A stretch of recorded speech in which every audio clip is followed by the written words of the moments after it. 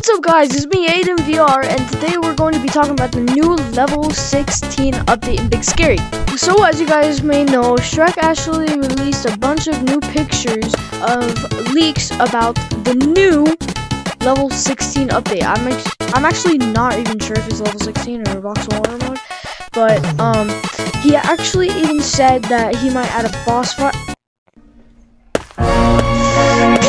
Shrek actually said that he might make a boss fight or even a monster that's really, really fast. And that'd be freaking awesome. Like, I wish it was Voxel Horror because, like, Voxel Horror mode hasn't even came out in so freaking long. So, I mean, it's gotta happen someday. And you know what? Here are the leaks again.